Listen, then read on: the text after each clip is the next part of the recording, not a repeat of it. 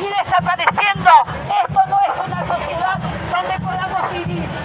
Queremos una sociedad donde estemos todas. Este 3 de junio nos hemos congregado una vez más para pedir justicia por todas las desaparecidas y por las víctimas de femicidio y travesticidio. Uno de los desafíos que enfrentamos hoy en Mendoza es que queremos saber cuáles son los datos reales de la provincia, ya que la Dirección de Mujeres de la provincia, tanto eh, como las áreas de género municipales, no tienen un acercamiento real a las mujeres ni un acercamiento real a las familias víctimas de femicidios o travesticidios. Entonces queremos saber cómo recolectan los datos, cuando sabemos también que esta justicia no responde, que esta justicia no investiga con perspectiva de género, que no, investiga con perspectiva de diversidad y que hay dos situaciones puntuales en Mendoza que están a la espera de ser investigadas y ser caracterizadas como femicidios o, transfemicidios. Por otro lado, nosotras denunciamos, y eh, eh, hoy nos hemos congregado también para esto, a este gobierno provincial que cuando recorta en salud, recorta directamente la vida de las mujeres diversidades en los barrios y nos referimos a no tener acceso en los centros de salud a la anticoncepción, a tener que pedir reiteradas veces los turnos para la ligadura de trompas y estos turnos no llegan nunca, cuando nosotras queremos cambiarnos el chip de anticoncepción en las mujeres jóvenes, eh, tenemos que indagar en todos los centros de salud de los distintos municipios a ver qué doctora está disponible para hacer esos cambios. Eh, respecto de eh, la justicia, hoy en Mendoza el juzgado de familia prácticamente no funciona. Las mujeres esperan más de dos o tres años para que se resuelvan las situaciones de las cuotas de alimentos de sus hijas e hijas. Esto es violencia, es la violencia que ejerce directamente este gobierno contra nosotras, pero también todo su aparato judicial, porque sabemos que jueces y fiscales han sido nombrados por cantidades durante los gobiernos radicales que venimos pasando acá en Mendoza.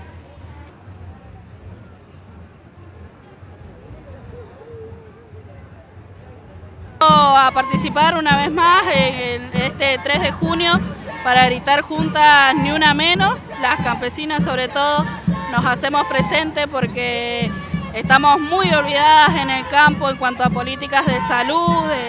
de, educación, de todo lo que tiene que ver con los cuidados también del trabajo que hacemos las mujeres a diario y que no es reconocido. Yo soy la mamá de la víctima de abuso sexual de Lucas Balsechi, ex director de Cultura de Guaymallén. Eh, estamos luchando hace siete años por justicia porque la abusó sexualmente cuando tenía tres años de edad y aún la Suprema Corte, ya hace tres años que está en la Suprema Corte, no nos da ningún tipo de eh, resolución. Estamos luchando, hemos pasado muchas injusticias,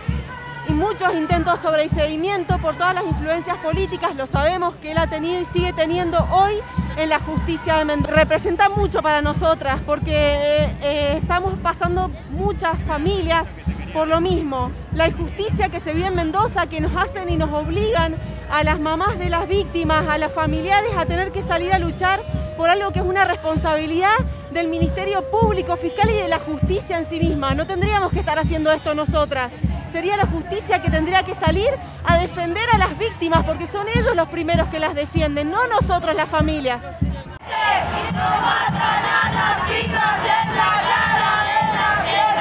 Hoy estamos este 3 de junio a 7 años de Ni Una Menos. Ni Una Menos se forma después de los femicidios que ocurrían año tras año y las mujeres hemos alzado nuestra voz en reclamo y en justicia por nuestros derechos y los femicidios. Hace siete años que estamos exigiendo que las políticas protejan nuestras vidas y sin embargo, año tras año, eso no sucede. El presupuesto de la provincia no destina dinero para nuestras vidas y aparentemente para el gobernador Suárez, Suárez nuestras vidas no valen. Estamos acá nuevamente luchando en Ni Una Menos Mendoza con más de 70 organizaciones el día que nos concurre por justicia por nuestras desaparecidas, por nuestros femicidios, por Melody Barrera, por Abigail Carniel, por Gisela Gutiérrez, por Viviana Luna, que son desaparecidas en democracia y todavía no hay respuestas. Particularmente acá en la provincia lo que nosotras queremos es que cambie la justicia, vamos por un camino, una, una reforma en la justicia. Venimos eh, con abusos, con acosos en las universidades, en distintas instituciones, lo que reclamamos hoy, lo que gritamos hoy las mujeres es que esas políticas cambien, porque realmente no tenemos nada que nos proteja. Venimos de dos años de pandemia donde la violencia aumentó y no hay políticas que nos protejan. Las áreas de género no están funcionando. Si bien hay medidas que dicen que se aplican, son insuficientes, no están cumpliendo para proteger nuestras vidas y el presupuesto no alcanza. Bueno, este, ni una menos estamos acá compartiendo las marchas, la movilización y mañana también vamos a estar participando del juicio de los ecocidios para dar batalla contra las, todas las formas de destrucción de la vida, de los cuerpos y de los territorios.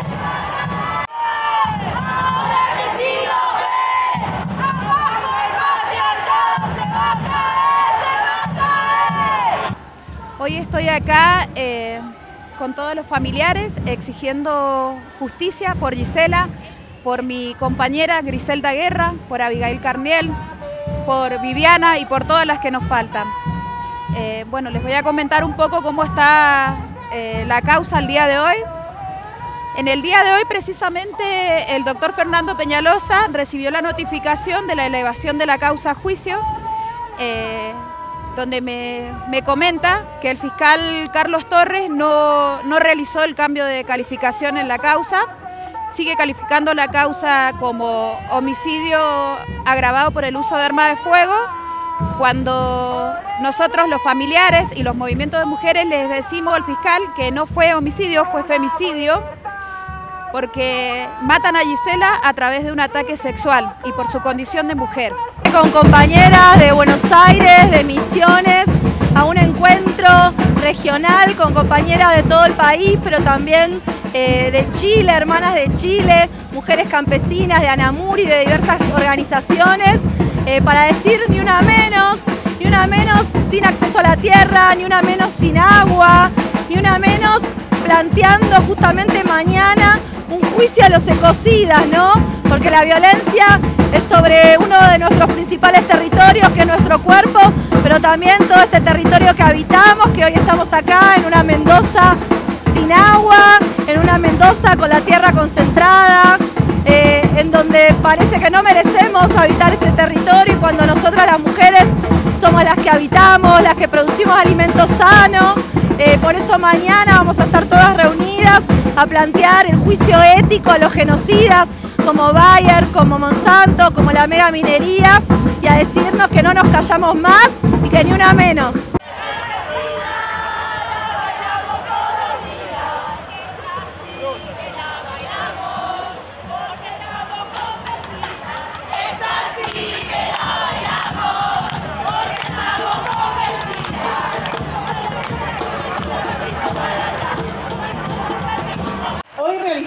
Una nueva marcha con las organizaciones, pero fundamentalmente con las trabajadoras de la economía social, solidaria, popular y feminista,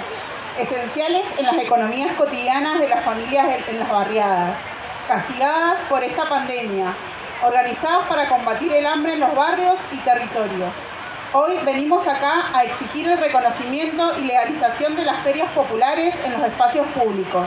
las ferias son trabajo para miles de personas que formamos parte de la economía social y popular. Sin embargo, el municipio de Guaymallén quiere, a través de una ordenanza, privatizar nuestro trabajo.